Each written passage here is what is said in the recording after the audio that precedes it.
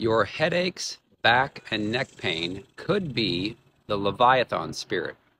In Job 41, verse 34, it talks about the Leviathan spirit being the king over all the children of pride.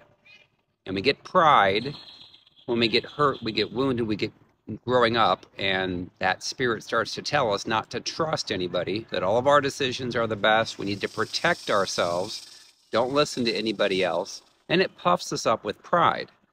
Well, it attaches to us in our spine and in our neck, and it will twist like an alligator. It says the rows of scales are its pride.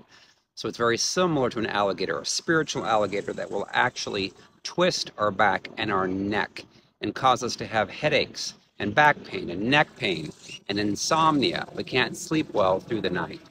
Again, I've helped thousands of people get healed, set free, and delivered of that spirit of Leviathan. And when they get freed from it, they no longer have headaches, they no longer have back pain, they no longer have neck pain. And I used to have that. I used to have scoliosis. You know, people that have fibromyalgia, the number one reason is because of that spirit, the spirit of pride. So how do you get delivered from that spirit if you might have it? First thing is you need to repent for your pride.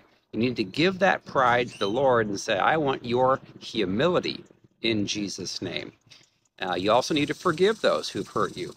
Uh, forgiveness is a requirement. Um, in Matthew 6 14 through 15, Jesus said, If we don't forgive others, then God cannot forgive us of our sins. And that allows demonic spirits to attach to us. So I've seen this thousands and thousands of times around the world with people. The number one reason for back pain, neck pain, and headaches is that spirit. Again, of course, you can have car accidents and sporting injuries that it could be directly related to. Uh, but the majority of people are going to have back pain, neck pain, and headaches due to that spirit.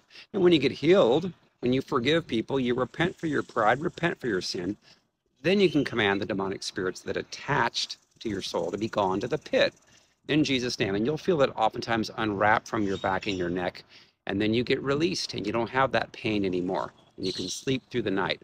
Also, if you have anyone that's involved in Freemasons or Shriners, oftentimes they will curse you and that will come down your bloodline. So you need to break off and sever all of those curses, those generational curses. So you can learn more about this in my book, Freedom from Soul Wounds and Demons. It's available on Amazon. You can also set up a personal session with me if you'd like me to take you through healing and deliverance. Just email my assistant, Tina, at tinak at restoredtofreedom.com. All right, thanks. Bye.